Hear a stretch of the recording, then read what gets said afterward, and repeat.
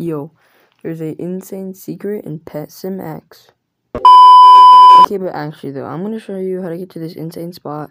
A lot of you guys probably already know about it, but in case you don't know, so basically what you're gonna what you're gonna want to do is go to Cat World and save up for five trillion, I think it's rainbow coins, and then you want to head over to a place called Cat Taiga.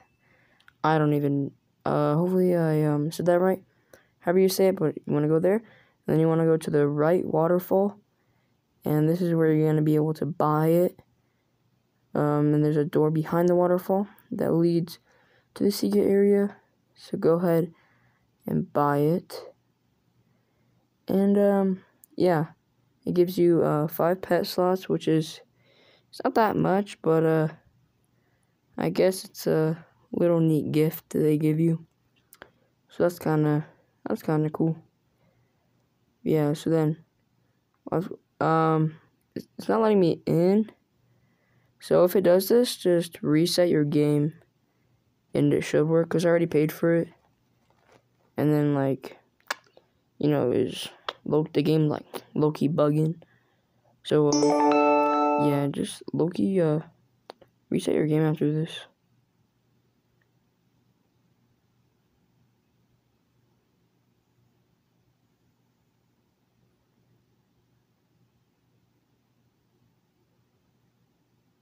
Okay, I reset my game.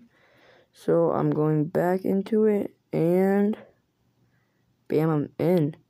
So you get this big uh chest you can farm and you get a royal egg, which has a chance for a huge. And I'm pretty sure that's a green balloon huge. I don't know. It might be. I'm pretty sure it's a balloon huge though. And the cat on the throne. So yeah, um. So yeah, this is a cool secret area that the the devs made or dev made. It's really nice. So yeah, make sure to check it out. And uh, yeah, it's pretty cool. So yeah, like and subscribe, and hopefully uh, this video was helpful.